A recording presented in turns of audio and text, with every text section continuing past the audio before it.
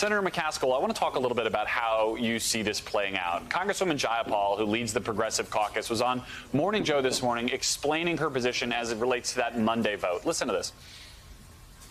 Nothing sacred about Monday at all. Let's let the negotiations continue. Let's get this done. Let's deliver everything to the president's desk. And uh, I think we will then be able to say to the country, government worked for you. Jayapal's a good politician. She knows that more negotiating isn't going to lead to a bigger bill, certainly. But, you know, Sahil alluded to this the trust deficit, this feeling like if everybody moves together, both of these things can still pass. But if one goes before the other, the whole operation falls apart. How, how do you read the progressives and the way they're trying to handle the strategy there? Well, they're trying to use whatever leverage they have. Um, I have a lot of trust. Speaking of trust deficit, I have a lot of trust that Nancy Pelosi can land this plane. Um, she is the person who promised the moderates a vote by Monday and promised to link up the two packages. But at the end of the day, I don't think the progressives want it hung around their neck that they killed all of it.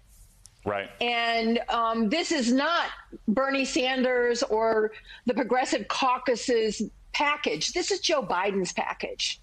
This is the candidate that won the Democratic nomination.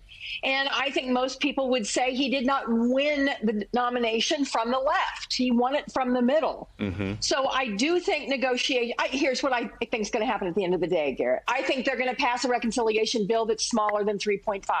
I think they're going to pass the infrastructure bill. I think they're going to fund the government.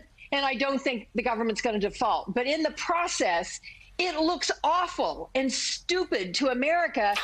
And the Republicans are banking on the fact that the Democrats are going to take more of the blame than they are because they're in charge. And it looks like a bunch of idiots running around right now. And it's only, as Monica put it, the beginning of the maybe end. So we've got more months of it to go potentially.